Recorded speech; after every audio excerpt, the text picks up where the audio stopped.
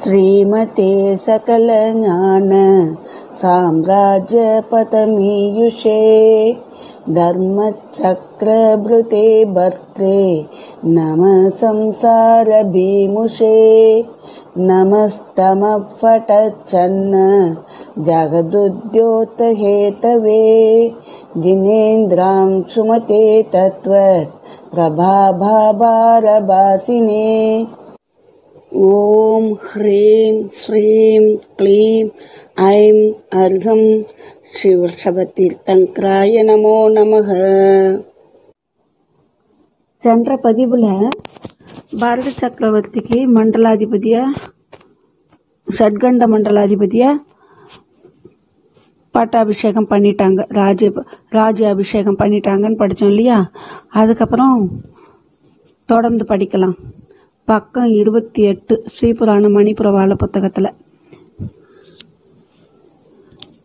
அவனுடைய திவ்ய சரீரம் வஜ்ர விருஷப நாராச சம்ஹனனத்தையும் சமச்சதுரஸ்ர சம்ஸ்தானத்தையும் அறுபத்தி நாலு திவ்ய லக்ஷணத்தையும் அநேக வியஞ்சனங்களையும் உடைத்தாகி ஸ்வர்ண வர்ணமுமாகி ஐநூறுவில் ஓங்கி இருக்கும் அவரோட தேகம் எப்படி இருக்குதான் அவரோட திவ்ய சரீரம் எப்படி இருக்குதான் வஜ்ர விருஷப நாராச சம்ஹனனமா. வஜ்ர விருஷப நாராச சம்ஹனனம். அப்படின்னா அவரோட ஆக்காரம் அந்த உடம்பு வஜ்ரம் மாதிரி ரெண்டு எலும்புகளோட இணைப்பில் இடையில வட்டமாக ஒரு கீழ்புட்டு போன்று பிணைச்சு இருக்கிறதுக்கு காரணமாக இருக்கிற அந்த மாதிரி உடம்பு. அந்த எலும்புகள்லாம் வஜ்ரம் மாதிரி நல்லா ஸ்ட்ராங்காக இருக்கும். இதை அதை கீழ்புட்டு மாதிரி ஒரு பிணைப்பு பிணைச்சிருக்கும். அந்த மாதிரி ஒரு தேகம் அவருக்கு வஜ்ர புருஷப நாராச சம்ஹானத்தையும் சமச்சதுரஸ்ர சம்ஸ்தானத்தையும். அவரோட உடம்போட உருவம் எப்படி இருக்குதுன்னா சமச்சதுரஸ்ர சம்ஸ்தானம். அப்படின்னா உடம்போட உருவம் வந்து நாபிக்கு மேலே எப்படி இருக்குதோ எந்த அளவு இருக்குதோ அதே அளவு கீழே. ரெண்டும் சமமாக இருக்கிறது. அதனால தான் சம சதுரஸ்ர சம்ஸ்தானம் அப்படின்றாங்க. அது மாதிரி இருக்குது. அறுபத்தி நாலு லட்சணங்கள் அது அவர்களுக்குரிய லட்சணங்கள் சக்கரவர்த்திகளுக்குரிய லட்சணங்கள் அறுபத்தி நாலு லட்சணங்களையும் அநேக வியஞ்சனங்களையும். வியஞ்சனம் அப்படிங்கிறதுக்கு சின்னங்கள் அடையாளங்கள் அப்படின்லாம் அர்த்தம் இருக்குது. ருசி கூட ஒரு அர்த்தம். காய்கறி என்ன வியஞ்சனம்னு சொல்லுவாங்க. அது அந்த மாதிரி அர்த்தம் இருக்குது இந்த இடத்துல வந்து அவரோட உடம்புல சின்னங்கள் சின்னங்கள் இருக்கிறத எடுத்துக்கணும். இந்த இடம் என்ன? எத்தனை அநேக வியஞ்சனங்களும் நிறைய சி- சின்னங்களும் இருக்கிறதா ஆகி ஸ்வர்ண வர்ணமும் ஆகி ஸ்வர்ணம் தங்க மாதிரி தக தகன்னு இருக்குது அவரோட க- வண்ணம். உடம்பு க- தேகத்தோட வண்ணம். ஐநூறு வில் உயரும். ஐநூறு வில். எப்படி இருக்கிறாரு? ரிஷப வஜ் விருஷ- வஜ்ர விருஷப நாராச சம்ஹனனம் சமச்சதுரஸ்ர சமஸ்தானம் அறுபத்தி நாலு திவ்ய லட்சணம் அநேக வியஞ்சனம். இது இருக்கு. இது கூட உடல் வண்ணம் ஸ்வர்ண வர்ணமா இருக்கு. ஐநூறு வில் உயரத்துக்கு இருக்கு. அவனுக்கு திரையிடும் நாடுகள் முப்பத்தி ஈராயிரம் அவருக்கு திரை கட்டுறது கப்பம் கட்டுறவங்க முப்பத்தி ரெண்டாயிரம் நாடு. அவருக்கு கப்பம் கட்டுறாங்க. அவனை சேவிக்கும் மகுடபத்த நரபரா நரபதிகள் முப்பத்தி ஈராயிருவர். அதே மாதிரி அவர் அவருக்கு இருக்கிற அவர்கிட்ட அடங்கி இருக்கிற மகுடபத்தர்கள் வந்து முப்பத்தி ரெண்டாயிரம் பேர். கணபத்த தேவர்கள் பதினோராயிரவர். கணபத்தர்கள் பதினோராயிரம் பேர். தேவியர் முப்பத்தி ஈராயிரவர். உபகல்யாணிகளும் மிலேச்ச ராஜ கன்யகைகளும் முப்பத்தி ஈராயிரவர் அவருக்கு மனைவியர் வந்து முப்பத்தி ரெண்டாயிரம் பேர். உபகல்யாணிகள்னா சேவை செய்யறது ம- அரசனுக்கு சே ராணிகளாக ராணிகளா இருக்க மாட்டாங்க. ஆனா அவங்களும் அவங்களோட அந்தப்புறத்தில் இருக்கிறவங்க அவங்களும் மிலேச்ச ராஜ கன்னியகைகள்லாம் மிலேச்ச ராஜாக்கள்லாம் இவர்கிட்ட தன் பெண்கள்லாம் கொண்டு வந்து கொடுத்து சமாதானம் பண்ணிக்கிறாங்க இல்லையா? அந்த மாதிரி வந்தவங்க முப்பத்தி ரெண்டாயிரம் பேர். அணுக்கி மாறும் அத்துணையர். இதுவும் அதே மாதிரி தான் அணுக்கிகள் அணுக்கிமார்கள். நாடக ஸ்திரீகளும் அத்துணையர் நாடக ஸ்திரீகளும் முப்பத்தி ரெண்டாயிரம் பேர். ராஜகுமாரர் அறுபத்தி நாலாயிரவர் அவரோட குழந்தைங்க அறுபத்தி நாலாயிரம் பிள்ளைகள். ராஜகுமாரியர் முப்பத்தி ஏழாயிரவர் பெண்கள் முப்பத்தி ரெண்டாயிரம் பேர்.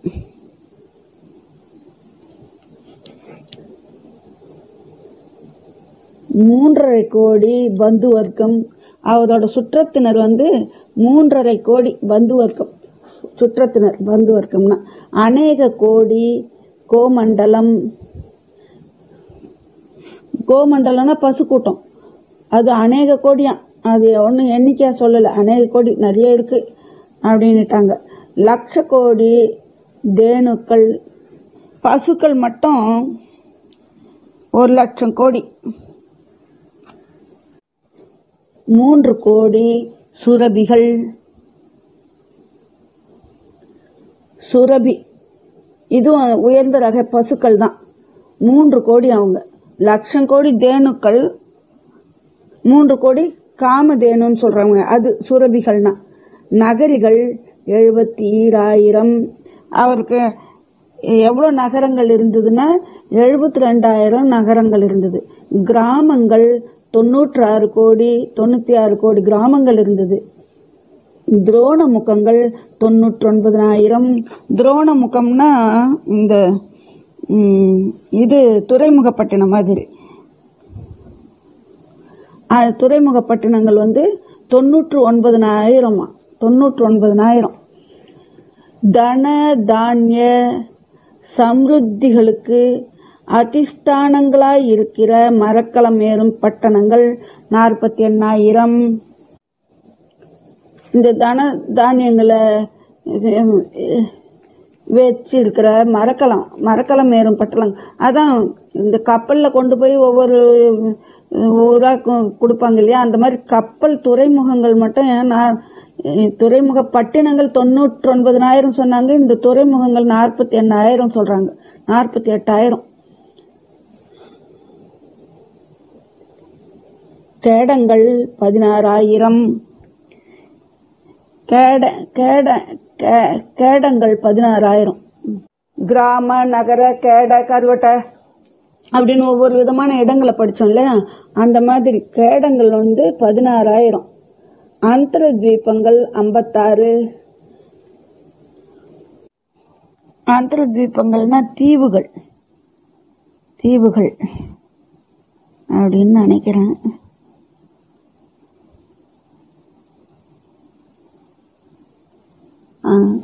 தீவுகள். ஐம்பத்தி ஆறு தீவுகளாம். சம்வாகனங் சம்வாகங்கள் பதினாலாயிரம். சம்வாகம்னா இதுவும் ஒரு இடம் ஏதோ சமதளமான இடம். எப்படின்றது அடக்கடவஸ்தாலிகள் ஒரு கோடி. அடக்கடவஸ்தாலிகள் இது உழக்கடவ ஹலங்கள் நூறாயிரம் கோடி. ஹலங்கள்னா கற் ஏற்கலப்பை. உழக்கடவு ஹலங்கள் நூறாயிரம் கோடி. அப்போ அதே மாதிரி தான் அடக்கடவு ஸ்தாலிகள் அப்படிங்கிறது ஏதோ ஸ்தாலி அப்படின்னா இந்த கொதிக்கலன் பானை அந்த மாதிரி சொல்லலாம். பெரிய பா அடுப்பில் வைக்கிற மாதிரி. இது என்ன அந்த இடத்துல அடக்கடவு ஸ்தாலிகள்னா என்ன எப்படி வரும்னு தெரியல. ஏதோ ஒரு கருவி தான் இது. உழக்கடவை ஹலங்கள்னா உழுவுறது உழுவுறதுக்கு உதவுற கலப்பைகள். அது நூறாயிரம் கோடி. இடைக்குடிகள் குழு குழுமி இருக்கும் பந்தங்கள் மூன்று கோடி. இந்த இடைக்குடிகள் இவங்கெல்லாம் வாழற இடம் அந்த பந்தங்கள் அந்த இடம் பந்தங்கள்னு சொல்றாங்க. அந்த இடம் மூ மூன்று கோடி. வனசரீரங்கள் வனசரீருக்கு குக்ஷிவாசங்கள் எழுநூறு. குக்ஷிவாசனம் இந்த குடிசை வீடு. குக்ஷிவாசனா குடிசை. இது புல்லுல இதெல்லாம் அதெல்லாம் கட்டின்னு இருப்பாங்க அவங்க. அது வந்து எழுநூறு. எழுநூறு. வனசரீரின்னா இந்த காட்டுவாசிகள். வனத்தில் வசி வசிக்கிறாங்க இல்லையா? அவங்க வீடு வந்து இந்த கு- குச்சிங்களாலேயே புல்லுங்களாலும் க- அதால இது பண்ண குக்ஷிவாசங்கள். எழுநூறு. துர்க்கம் ஆகிய அடவிகள் இருபத்தி எண்ணாயிரம். துர்க்கம்ன்றது கோட்டை கோட்டை மாதிரி. யா அந்த மாதிரி கோட்டை மாதிரி இருக்கிறது அடவிகள் ப இருபத்தி எட்டாயிரம். இவரை சேவிக்கும் மிலேச்ச ராஜாக்கள் பதினெண்ணாயிரம். இவருக்கு அடங்கி கீழே இவரை பணியிற வந்து மிலேச்ச ராஜாக்கள் பதினெட்டாயிரம் பேர். யானைகள் எண்பத்தி நாலு நூறாயிரம். அப்படின்னா எண்பத்தி நாலு லட்சம். யானைகள் எண்பத்தி நாலு லட்சம். தேர்களும் அத்தனை தேர்களும் எண்பத்தி நாலு லட்சம். அஸ்வங்கள் பதினெட்டு கோடி. அஸ்வங்கள்னு குதிரை. குதிரை பதினெட்டு கோடி. காலாட்கள் எண்பத்தி நாலு கோடி. காலாட்படை வந்து எண்பத்தி நாலு கோடி. இவனுக்கு நிதிகள் ஒன்பது ஒன்பது நிதி. அவையாவன காலம் மகா காலம் நைசர்பம் பாண்டுக்கம் பத்மம் மாணவம் பிங்களம் சங்கம் சர்வரத்னம் என. இந்த நவநிதியை விளக்குறாங்க. அதுக்கு முன்னாடி இது எல்லாம் என்னென்னன்றதை நம்ம பார்த்துட்டு வந்துடும் இப்போ பார்த்ததெல்லாம் தொகுத்து ஒரு தடவை பார்த்துட்டு வந்துடலாம். இவருக்கு வந்து தேகம் வந்து வஜ்ர ரிஷப நாராச சம்ஹனனம். வஜ்ரம் மாதிரி ரிஷப நா- இது நல்ல கெட்டியான எலும்புகளோட கீழ் முட்டுக்களோட சேர்ந்த உடம்பு. நாராச சம்ஹனனம். சமச்சதுரஸ்ர அமைப்பு. அப்படின்னா நாபிக்கு மேலேயும் கீழேயும் சரி சமமான அளவு உடைய உடம்பு. அறுபத்தி நாலு திவ்ய லட்சணங்கள் இருக்கு. அநேக விதமான வியஞ்சனங்கள் சின்னங்களை கொண்டிருக்குது. தங்க நிறம் அவரோட நிறம். ஐநூறு வில் உயரம். இவருக்கு கப்பங்கட்டுற நாடு முப்பத்தி ரெண்டாயிரம் அவரை வணங்குற முடிசூடிய மன்னர்கள் முப்பத்தி ரெண்டாயிரம் பேர். கணபத்த தேவர்கள் பதினாறாயிரம் பேர். பதினாயிரம் பேர் பத்தாயிரம் அப்படின்னா பதினாயிரம் பேர். தேவிகள் வந்து முப்பத்தி ரெண்டாயிரம் பேர் உப கல்யாணிகள் வந்து அதே மாதிரி மிலேச்சராஜ கன்னியர்களும் முப்பத்தி ரெண்டாயிரம் அணுக்கிமார்கள் அத்தனை பேர் முப்பத்தி ரெண்டாயிரம் நாட நாட்டிய பெண்டிர்களும் முப்பத்தி ரெண்டாயிரம் பேர் ராஜகுமாரர்கள் அறுபத்தி நாலாயிரம் பேர் ராஜகுமாரிகள் முப்பத்தி ரெண்டாயிரம் பேர் சுற்றத்தினர் மூன்றரை கோடி பேர். அநேக கோடி பசுமந்தை இருக்குது லட்சம் கோடி ப பசுக்கள் இருக்குது தேனுக்கள் இருக்குது மூன்று கோடி காமதேனுக்கள் இருக்கு. நகரங்கள் வந்து எழுபத்தி ரெண்டாயிரம் கிராமங்கள் தொண்ணூற்று ஆறு கோடி கப்பல் துறைமுக பட்டணங்கள் தொண்ணூற்றி எண்பதனாயிரம் அதுக்கப்புறம் அந்த அந்த மரக்கலம் ஏறும் பட்டணங்கள் துறைமுக அதாவது துறைமுக பட்டண துறைமுகத்துக்கு ப மரக்கலங்கள் வந்து ப- பொருள் எல்லாம் ஏற்றிட்டு போகும்ல. அந்த மாதிரி பட்டணங்கள் எழு நாற்பத்தி ரெண்டா எட்டாயிரம். கேடங்கள் பதினாறாயிரம். இதுல கருவட்டங்களை வ- பத்தி கூட இந்த குறிப்புல சொல்லியிருக்காங்க. கருவட்டங்களை பத்தி கூட சில புத்தகத்துல போட்டிருக்கு ஆனா மூல புத்தகத்துல இல்லைன்னு சொல்லிட்டாங்க. அந்தர தீவுகள் ஐம்பத்தி ஆறு தீவுகள் ஐம்பத்தி ஆறு சம்பாகனம் பதினாலாயிரம். சம்பாகனன்றது ஒரு சமதளமான பூமி தான் அது எதுக்காக அது மாதிரி சொல்றாங்கன்னு தெரியல. அது மாதிரி அடக்கட அடக்கடவு சாலி ஒரு கோடி உழவ கலப்பைகள் ஒரு நூறாயிரம் கோடி அப்படின்னா லட்சம் கோடி. இடைக்குடிகள் குழுமி இருக்கிற இடம் மூ- மூணு கோடி வனவாசிகள் குடியிருக்கிற குடிசைகள் எழுநூறு நுழைய காடுகள் வந்து ரொம்ப அடர்ந்த காடுகள் வந்து இருபத்தி எட்டாயிரம். அதுக்கப்புறம் இ- இவர்கிட்ட சேவை செய்கிற மிலேச்ச மன்னர்கள் பதினெட்டாயிரம். யானைகள் வந்து எண்பத்தி நாலு நூறாயிரம் அப்படின்னா எண்பத்தி நாலு லட்சம். தேர்களும் அதே அளவு எண்பத்தி நாலு லட்சம். அசுவங்கள் பதினெட்டு கோடி.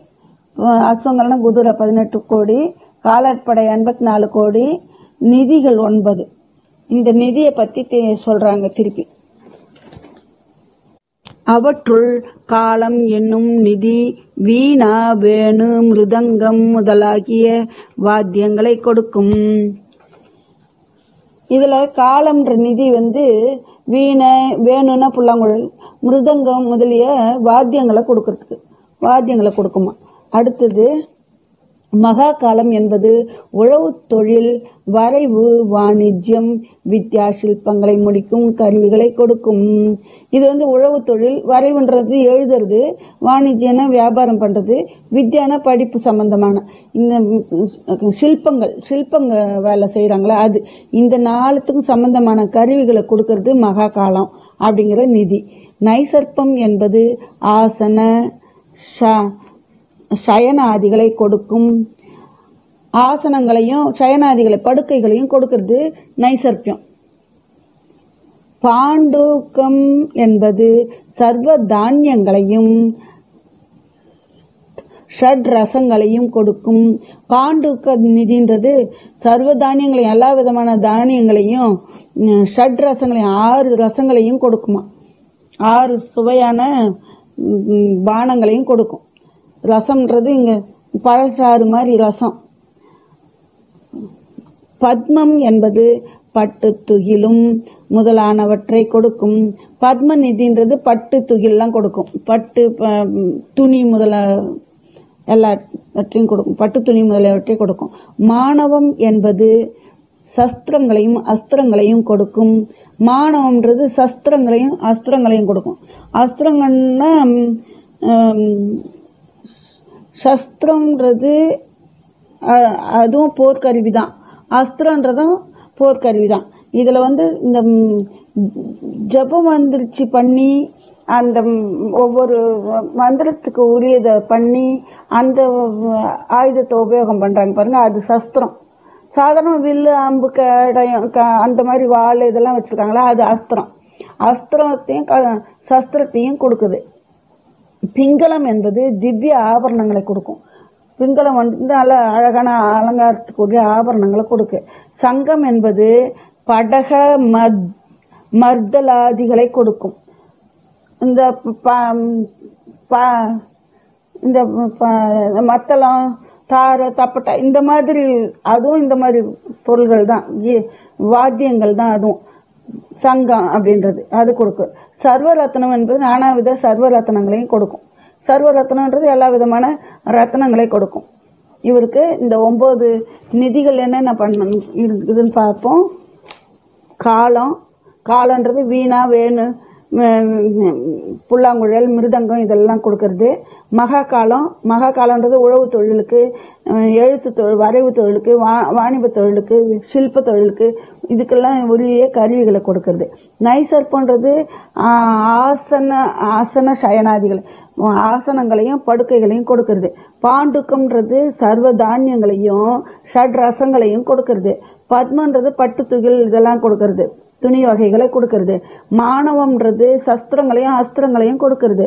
பிங்களம்ன்றது திவ்ய ஆபரணங்களை கொடுக்கற நிதி. சங்கம்ன்றது இந்த பட்டை மர்தளம் இந்த மாதிரி வாத்தியங்களை கொடுக்கறது. சர்வரத்னம்ன்றது நானா விதமான சர்வரத்னங்களையும் கொடுக்கும். இந்த மாதிரி இவரோட இவருக்கு நிதிகள் வந்து இந்த ஒன்பது நிதிகளும் இவருக்கு இருக்கு. இவருக்கு ரத்னங்கள் பதினாலு. இந்த ரத்னங்கள் பாருங்க என்னென்னலாம் இருக்குன்னு. அவையாவன ஸ்திரீயும் புரோகிதனும் சேனாபதியும் கிருகபதியும் ஸ்தபதியும் கஜமும் அஸ்வமும் என பதினாலு இது ஸ்திரீ புரோகிதன் சேனாதிபதி கிருகபதி ஸ்தபதி கஜம் அஸ்வம்.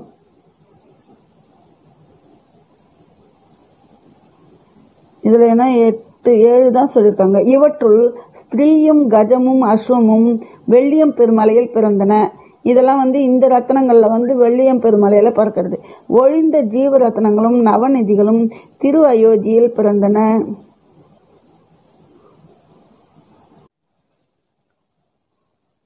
அஜீவ ரத்னம் ஏழாவன சக்கரமும் தண்டமும் சத்திரமும் மணியும் காக்கினியும் வாளும் சர்மமும் என இவற்றுள் சக்கரமும் தண்டமும் வாளும் சத்திரமும் ஆயுத ஆயுதசாலையில் பிறந்தன. ஒழிந்த அஜீவ ரத்னங்கள் மாளிகையில் பிறந்தன. இந்த பதினாலு ரத்னங்கள்ன்றது ஜீவரத்னம் ஏழு அஜீவரத்னம் ஏழு. இதில் ஜீவரத்னம் வந்து புரோகிதன் சேனாதிபதி கிருகபதி ஸ்தபதி கஜம் அஸ்வம். அஸ்வம். ஸ்ரீ ஸ்திரீ ஸ்திரீ புரோகிதன் சேனாதிபதி கிரகபதி ஸ்தபதி கஜம் அஸ்வம்னு ஏழு. இதுல ஸ்திரீயும் கஜமும் அஸ்வமும் வெள்ளியம் பெருமலையில பறக்குது. மீதி ஜீவரத்னங்கள் வந்து நவநிதிகளும் தி- அயோத்தியில பறக்கிறது. அஜீவரத்னம் ஏழு அது வந்து சக்கரம் தண்டம் தண்டன்றது கோல் சத்திரம் அப்படின்னா கொடை மணி காக்கினின்றது ஒரு ரத்னம் வாள் சர்மம். ஆக இந்த ஏழும் அஜீவ ரத்னம் இவ இந்த காகினி ரத்னத்தால தான் இந்த சந்திரன் சூரியனை வரைஞ்சுக்கிட்டு போருக்கு போறாரு வெளிச்சத்தை உருவாக்கிக்கிட்டுன்னு படிச்சோம்ல அது மாதிரி காகினி ரத்னம் இந்த ஏழு அஜீவ ரத்னம் இந்த அஜீவ ரத்னத்துல சக்கரம் தண்டம் வாள் சத்திரம் இதெல்லாம் ஆயுத சாலையில பிறக்குதான். மீதி ந- மூணும் மாளிகையில பிறக்குது. இவனுடைய நகரியின் நகரியின் மதில் சிதிதாரம் என்பது சிதிசாரம் என்பது இவரோட நகரத்தோட மதிலுக்கு பேர் சிதிசாரம். கோபுரம் சர்வதோக சர்வதோபத்ரம் என்பது கோபுரத்தோட பேர் சர்வதோபத்ரம் சர்வதோபத்ரம். இவன் சன்னிவேஷம் நந்தியாவர்த்தம் என்பது சன்னிவேஷம் அப்படின்னா சிபிரம் சன்னிவேஷம்னா சிபிரம் சிபிரம்ன்றது ஒரு சன்னிவேஷம்னா சிபிரம்னு போட்டிருக்காங்க. சிபிரம்ன்றது தங்குற இடம். இப்போ ஒரு கேம்ப்னு சொல்கிறோம் இல்லையா? நம்ம அதுக்கு பேர் தான் சிபிரம். அந்த இடத்துக்கு பேர் நந்தியாவர்த்தம் என்பது பிரசாதம் வைஜெயந்தம் என்பது இவரோட மாளிகைக்கு வந்து வைஜயந்தம்னு வைஜெயந்தம்னு அரண்மனை. அரண்மனை இல்லாமல் வேறு எங்கேயாவது கூடாரம் போட்டு தங்குறாங்க சிபிரம் போருக்கு போகிறாங்க ஒரு இடத்துல சிபிரம் போட்டு தங்குறாங்க அப்படின்றாங்க இல்லையா? அந்த இடத்துல அந்த சிபிரத்துக்கு பேர் சன்னிவேசம் நன்- சன்னிவேசம்ன்றது சிபிரம். அது அதனோட பேர் நந்தியாவர்த்தன்றது பிரசாதன்றது அரண்மனை. அரண்மனைக்கு பேர் வைஜெயந்தம். சபா மண்டபம் திக் ஸ்வஸ்திகம் என்பது அவரோட சபா மண்டபம் வந்து திக் ஸ்வஸ்திகம்ன்றது மணி அஷ்டி சுவிதி என்பது சௌதம் கிரிகூடம் என்பது நாடகசாலை வர்த்தமானம் என்பது மணி அஷ்டி சுவிதி என்பது. மணி அஷ்டி அதாவது மணித்தடியா. எஷ்டினா தடி மணித்தடி. மணித்தடி பேரு சுவிதி. அப்படின்னா என்ன? அவங்க கையில் வச்சுருக்காங்களா? அந்த செங்கோல் பேரா? தடி மணித்தடி. சௌதம் என்பது உப்பரிக்க உப்பரிக்கன்னு போட்டிருக்காங்க. மாடியில். கிரிக்கூடம்னு பேர் அதுக்கு. நாடகசாலைக்கு வர்த்தமானம்னு பேர். நாடகசாலைக்கு வர்த்தமானம். தாரா கிரகம் மகா கர்மாந்திக்கம் என்பது தாரா கிரகம்ன்றது தாரான மனைவிகள் மனைவிகள் வாழற இடமா? அதுக்கு மகா கர்மாந்திக்கம் என்பது வருஷா காலத்து வசிக்கும் இடம். கிரகக்கூட்டம் என்பது மாளிகை புஷ்கராவதி என்பது அவரோட வருஷ காலத்தில் மழை காலத்தில் வசிக்கிற இடத்துக்கு கிரகக்கூடம்னு அவங்களோட மாளிகை வந்து புஷ்கராவதி. பாண்டாகாரம் குபேரகாந்தம் என்பது அவரோட பாண்டாகாரத்துக்கு பேரு குபேரகாந்தம்னு பேர். கோஷ்டாகாரம் வசுதாகாரம் என்பது கோஷ்டம்னா தானியம் வைக்கிற இடம் அப்படின்னு பொருள் இருக்கு.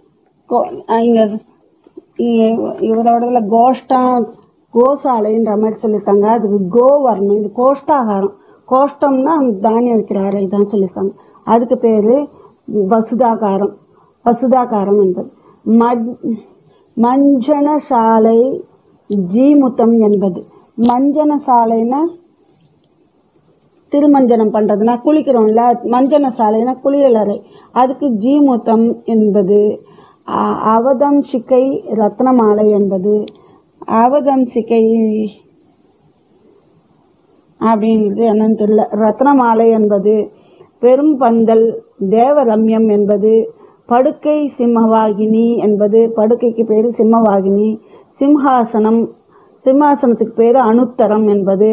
சாமரங்கள் அனுபமங்கள் என்பது தவளச்சத்திரம் சூரிய பிரபம் என்பது தவளச்சத்திரம்னா வெண்கொடை. சூரிய பிரபம் என்பது குண்டலங்கள் வித்யுத் பிரபம் என்பன அவரோட குண்டலங்களுக்கு பேர் வித்யுத் பிரபம் பாதுகை விஷமோசிக்கை என்பது அவரோட பாதுகைக்கு விஷமோசிக்கைன்னு பேர். அங்கரக்ஷை அபேத்தியம் என்பது அங்க அங்கத்தை ரக்ஷம் பண்ணுறது அங்கரக்ஷை இந்த இரும்பெல்லாம் கவச்சம் மாதிரி போட்டுக்குவாங்கல்ல அதுதான் அங்கரக்ஷை அங்கரக்ஷைக்கு பேர் அபேத்தியம் என்பது. ரதம் அஜித்தஞ்சனம் என்பது. அவரோட ரத்தத்துக்கு பேர் அஜித்தஞ்சனம். அஜித்தஞ்சயம். இந்த ரதத்தில் தானே ஏறி போருக்கு போ எல்லா இடமும் போய் ஜெயிச்சின்னு வர்றாரு ஏற்கனவே இந்த அஜித்தஞ்சயம்ன்ற ரதத்தை பற்றி கேள்விப்பட்டோம் நம்ம. வில்லு வஜ்ரகாண்டம் அவரோட வில்லுக்கு பேர் வஜ்ரகாண்டம். சரங்களுக்கு பேர் அமோகம். இதெல்லாமா அந்த போ நாடுகள் ஒவ்வொரு நாடாக அவர் பிடிச்சின்னு வர்றாரு. அப்போ இதெல்லாம் இந்த பேரெல்லாம் நமக்கு அறிமுகமாயிருக்கு. வேல் வஜ்ரதுண்டம். குந்தம் சிம்ஹாட்டகம் என்பது. குந்தம்னா என்ன? குந்தம்னா ஈட்டி வேலு இதெல்லாம் குந்தம்ன்றாங்க. குந்தம் அதுக்கு பேர் வந்து சிம்ஹாட்டகம் என்பது பெயர். து சூரிகை லோகவாகினி. சூரிகைனா கத்தி. சூரிகை வந்து லோகவாகினின்னு பேரும் லோகவாகினி என்பது. கணயங்கள் மனோவேகங்கள் என்பன. கணயங்கள்னா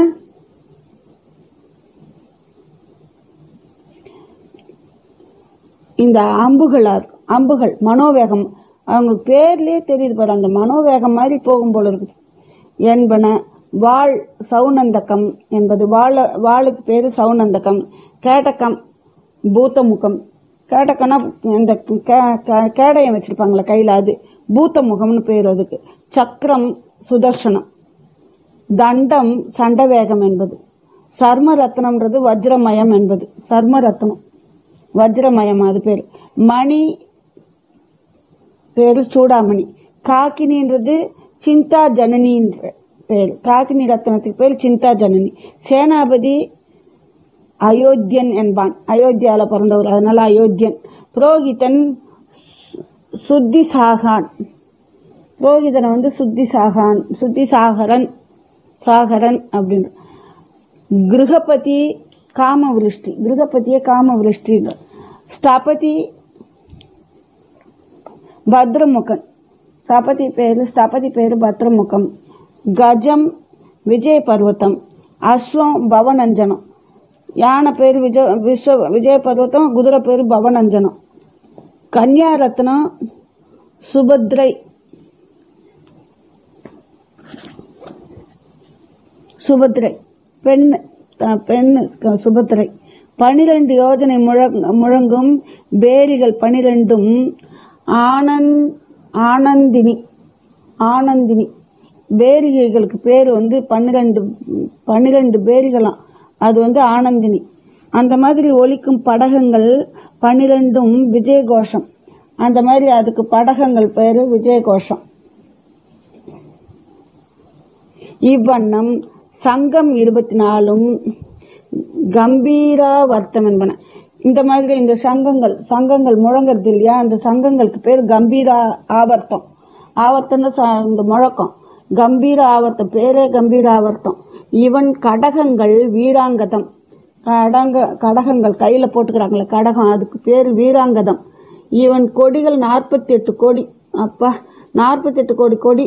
இவன் போஜனம் மகா கல்யாணம் என்பது. போஜனம் மகா கல்யாணம் என்பதுதான். பக்ஷயங்கள் சாப்பிட்றது வந்து அமிர்த கர்ப்பங்கள் என்பதுதான். அமிர்த கர்ப்பங்கள் கர்ப்பங்கள் அமிர்த கர்ப்பங்கள் என்பன. இவர் சாப்பிட்ற சாப்பாட்டுக்கு பேரு அமிர்த கல்பங்கள். லேகியம் அமிர்த கல்பம் என்பது. அவர் சாப்பிட்ற லேகியம் அமிர்த கல்பம். பானம் குடிக்கிறது. குடிக்கிறது வந்து அமிர்தம் என்ற பெயர். இதெல்லாம்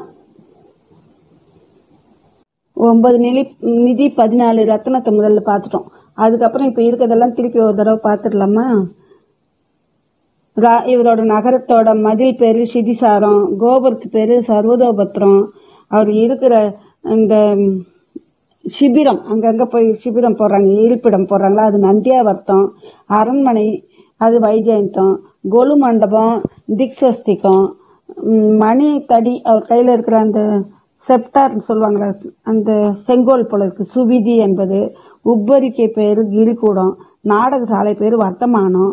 மனைவிகள் தாராகிரகம் மனைவிகள் தங்குற இடம் வந்து மகா கர்மாந்திகம் மழை காலத்தில் வசிக்கிற இடம் கிரகக்கூடம். மாளிகையோட பேர் புஷ்கராவதி கொப்- பொக்கிஷத்தோட பேர் குபேரகாந்தம். அப்புறம் இந்த கோஷ்ட சாலை கோஷ்டசாலைன்றது சாலைன்றது ஆய் நல்ல தன தானிய பண்டாரங்களை சேர்த்து வைக்கிறாங்களா அந்த இடம். அதுக்கு பேர் வசுதாக்காரம். குளிய குளிக்கிற இடம் ஜீமுட்டம். அவதம்சிக்கை ரத்னமாலை. அவதம்சிக்கை தான் என்னன்றது எனக்கு தெரியல. பெரும்பந்தல் வந்து தேவரம்யம். படுக்கை சிம்மவாகினி சிங்காசனத்தோட பேரு அனுத்திரம் சாமரங்களோட பேர் அனுபமம் வெண்குடை பேர் சூரிய பிரபம் அவரோட க கழுத்தில் காதில் போடுற குண்டலங்களோட பேர் வித்யுத் பிரபம் பா காலணிகளோட பேர் விஷமோசிக்கை அங்கரக்ஷணம் இந்த க- உடம்பு காவ கா காப்பாற்றுறதுக்கு போட்டுப்பாங்களே அந்த கவசம் அந்த கவசத்துக்கு பேர் அபேத்தியம் பேரே பாருங்க அபேத்தியம் வேத்தியம் அந்த உடைக்க முடியாது பே- உடம்ப சின்னமாக்க முடியாதது அந்த அர்த்தத்தில் வருது பாருங்க அபேத்தியம் ரதம் அஜிதஞ்சயம் வில்லு பேர் வஜ்ரகாண்டம் பானங்கள் அமோகம் வேலு வஜ்ரதுண்டம் அதே மாதிரி ஈட்டி சிம்ஹாட்டகம் கத்தி லோகவா சூரிக்கைனா கத்தி கத்தி சோ லோகவாகினி கணயங்கள் அம்புகள் வந்து மனோவேகம் மனோவேகம் வாள் சவுனந்தகம் கேட்டகம்ன்றது பூத்தமுகம் சக்கரம்ன்றது சுதர்சன பேர் தண்டத்தோட பேர் சண்டவேகம் சர்மரத்னம் வஜ்ரம் வஜ்ரமயம் மணின்றது சூடாமணி. காக்கினா சிந்தா ஜனனி. சேனை தலைவன் அயோத்தியன். அயோத்தியாவில் பிறக்கிறதால அயோத்தியன். புரோகிதன் புத்திசாகரன். கிருகபதி பேர் காமவிருஷ்டி. ஸ்தபதி பேர் பத்ரமுகன். கஜத்தோட பேர் விஜய பர்வதம் குதிரையோட பேர் பவனஞ்சயம். கன்னிகா ரத்னம் பேர் சுபத்ர. பேரிகைகள் பன்னெண்டு யோஜனை முழங்கும் அந்த பேரிகை பேர் அனந்தி ஆனந்தினி. அது பன்னெண்டு படகங்கள். அது அந்த படகங்கள் பேர் விஜயகோஷம். சங்கங்கள் இருபத்தி நாலு. அதுக்கு பேர் கம்பீர ஆவர்த்தனம் ஆவர்த்தம். கடகம் அவர் கையில் போட்டிருக்கிற கடகம் பேர் வீராங்கதம். கோடிகள் நாற்பத்தெட்டு கோடி. அவர் சாப்பிட்ற சாப்பாட்டுக்கு பேர் மகா கல்யாணம். அவர் சாப்பிட்ற பக்ஷியங்கள் தின்பண்டங்கள் அது வந்து அமிர்த கர்ப்பம். லேகியம் அமிர்த கல்பம் பானம் அமிர்தம். இந்த மாதிரி மகா விபூதியோட ரொம்ப பூர்வ பூர்வ கிருத்த இந்த மாதிரி சாம்ராஜ்ய சுகம் அனுபவிக்கிறாரு. இது நம்ம மேல் கொண்டு அடுத்த பதிவில் பார்க்கலாம். அனைவருக்கும் நன்றி வணக்கம்.